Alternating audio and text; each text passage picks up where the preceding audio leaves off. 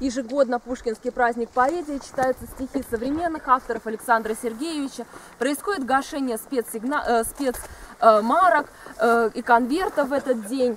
Э, Желтая крыша виднеется. Это знаменитое кафе «Березка». С 70-х годов оно существует здесь, на поляне. Воспето было Сергеем Довлатовым в его повести «Пушкинский заповедник». Э, Сергей Довлатов в 1976-77 годах работал экскурсоводом в Пушкинском заповеднике.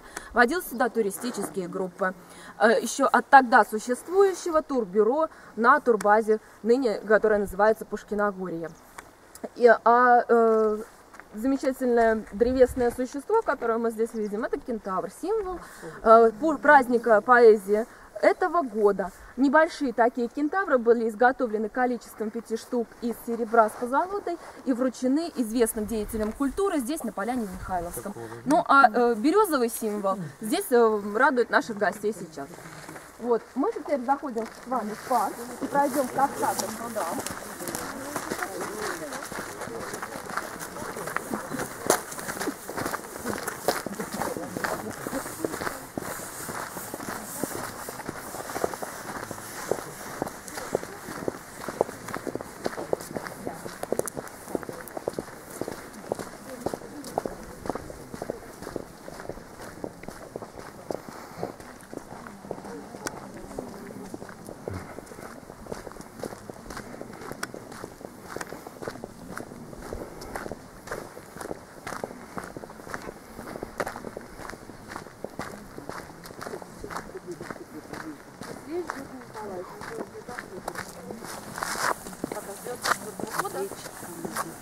Агещенко на Ворониче, на городище на территории заповедника.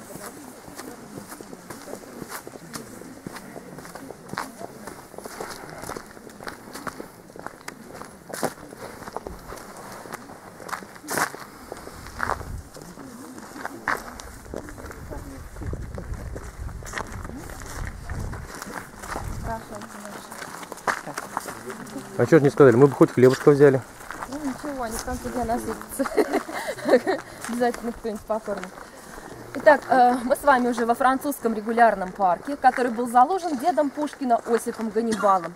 В 1785 году он получает деревеньку Зуева, что некогда находилась на этом месте, в наследство после смерти отца. Выходит в отставку. Все Ганнибалы были людьми военными, в частности, Осип Ганнибал был артиллеристом. Э, Выходит в отставку, приезжает сюда, занимается обустройством име- имения, строительством небольшого господского дома, одноэтажного, обшитого крытого тесом. В нем всего шесть комнат. По тем временам действительно скромный небольшой дворянский дом. Проживал он здесь всегда один, поэтому большого дома ему и не следовало. Его жена э, проживала э, в своих имениях в центральной России. Э, Они не ладили между собой, поэтому решили расстаться. Он определил ей денежное содержание, так же как своей дочери Надежде, матери Пушкина. И э, уже Надежда Осиповна, мать поэта, приедет сюда лишь после смерти своего отца. И унаследует Михайловская. Э, Французские регулярные парки отличаются э, тем, что природа переделалась по вкусу хозяина. То есть это насилие над природой, это искусственные рукотворные пруды, обязательно и каскадные, и вытянутые в одну линию, насыпные острова, вот перед нами с вами остров уединения, абсолютно насыпанный, окультуренный, правильной геометрической форме в виде круга выполненный.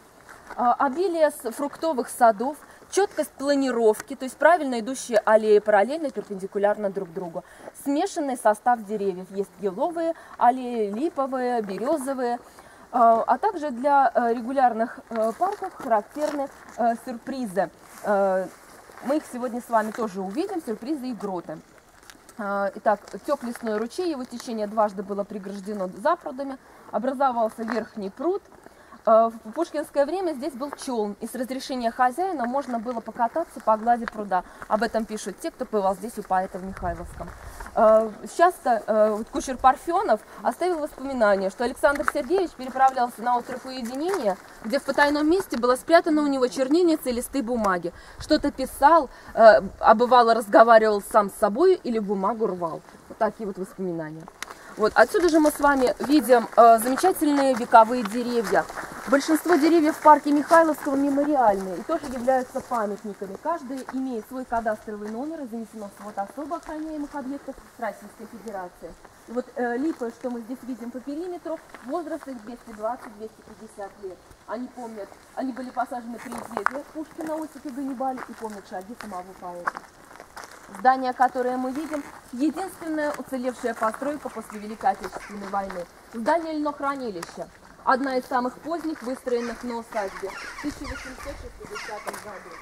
А, После смерти Александра Сергеевича имение перейдет к его сыну Григорию. В 1860 году он приедет и почти 40 лет будет управлять им. В 1899 в преддверии столетия, когда рождения Александра Сергеевича Пушкина, он продаст государственную казну. Именно тогда дети возникли желание открыть музей. В 1911 на усадьбе будет выстроена колония престарелых литераторов, где поселятся пенсионеры э, и э, знаменитая на тот момент писательница Варвара Васильевна Тимофеева-Починковская. Они будут ухаживать за цветниками, за домом поэта, будут первыми экскурсоводами на усадьбе. Но а декрет о создании здесь музея будет отнесен уже к новому времени, постреволюционному, в 1922 году. Территория Михайловского, Тригорского и Петрогорского монастыря будет объявлена заповедной. И в этом году мы отметили уже 91 год со дня основания музея. Э, примечательно здание это тем еще, что это изюмная кладка типичная досковщины, когда между дикими валунами в раствор вкладывались маленькие черные камушки, как изюминки. Отсюда и название. Э, Пруды здесь каскадные, вот после дамбы мы увидим сейчас средний пруд и нижний, они разделены горбатым мостиком. К ним мы и пройдем. А с Александром Сергеевичем мы будем фотографироваться, когда выйдем через парк уже к автобусу на обратной дороге. Это прибылительный, что-то какая-то